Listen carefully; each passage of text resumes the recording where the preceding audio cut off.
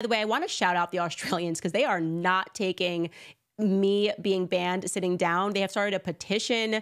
They are making all of these videos. They're saying they're going to drop it off at Tony Burke's office. It just makes me so happy to know that people are fighting for free speech. They're outraged about what the Zionist Federation has done. Obviously, the majority of these events were completely sold out. So they made a decision that was not done on behalf of the people, but rather was done on behalf of political interests. And I just wanted to tell you guys that I saw the petition. Uh, I think it's on like Life. Uh, Skylar, look up the website that it's on and let me know. Oh, here it is. Amazing. Lifepetitions.com.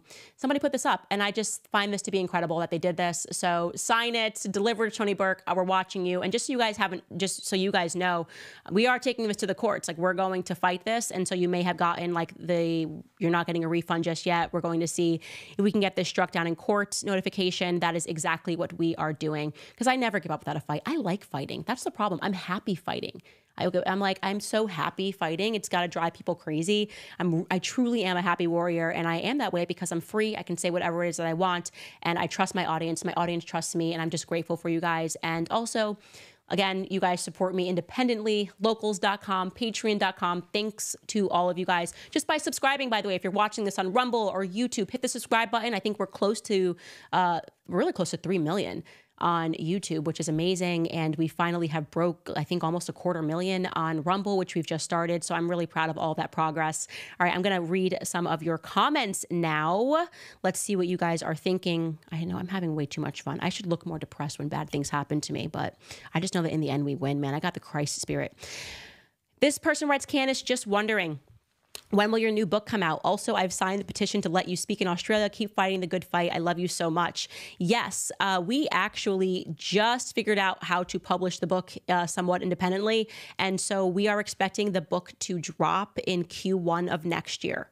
So I will keep you posted, and you guys are going to absolutely love it. And I've actually written it years ago, just been sitting on it and waiting for a publisher that is willing to publish me because the industry is controlled and you're not allowed to publish different ideas. And my first book almost got dropped because of my views on George Floyd. That's a true story, which I'll share another day.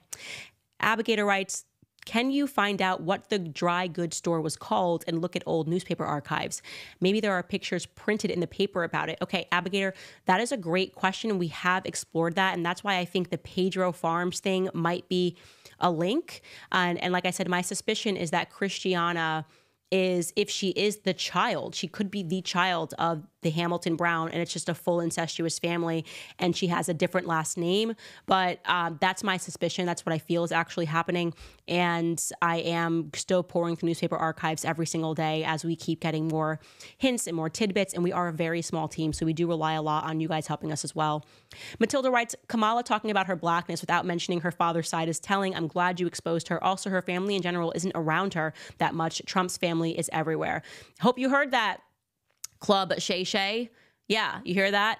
100% true. She's like completely isolated from her family. Her and her, her father don't get along. Don't forget, he like slapped her down years ago and he's gone like completely MIA. He's nowhere near her. So you're right, that is a red flag.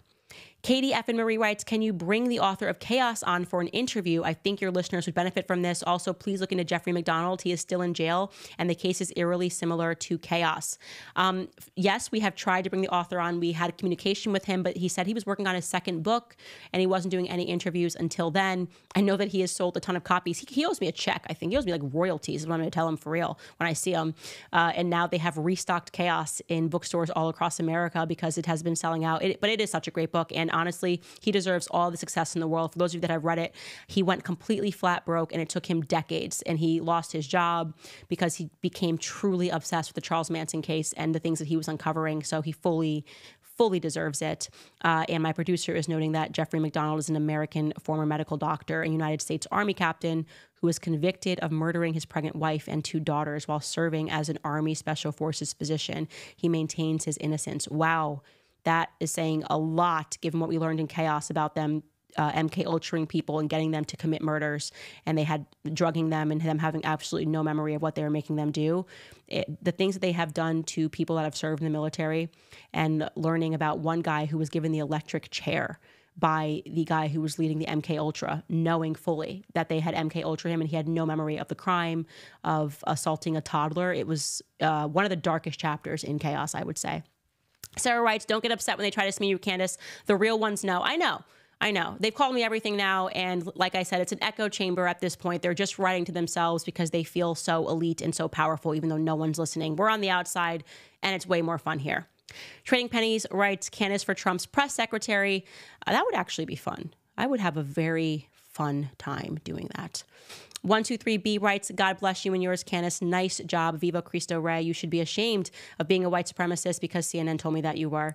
Hey, it's Zach Rorden writes, Kamala and her family are nefariously using black people for their own self interest, just like they did in slave days. There was nothing new under the sun. They never stopped, and Dems are doing the same.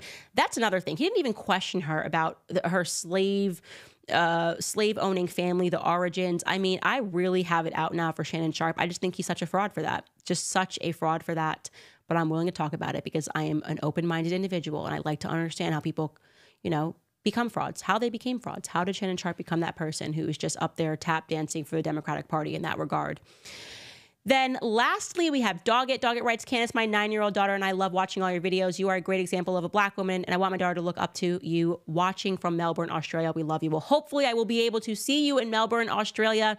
We will see either way, thank you guys so much for the support. Fingers crossed. If it doesn't happen, then it wasn't meant to happen. It was actually meant to serve as what it is, which is a massive scandal and awakening so many people in Australia to the fact that they're not the government is not working for you. They're working against you. It's it's eerily similar to a, a, communist regime making these sorts of sweeping decisions for non-criminals while allowing criminals within your borders people with records to perf- like uh, uh, with criminal records to perform people that were arrested this year multiple times like travis scott was who's due to perform.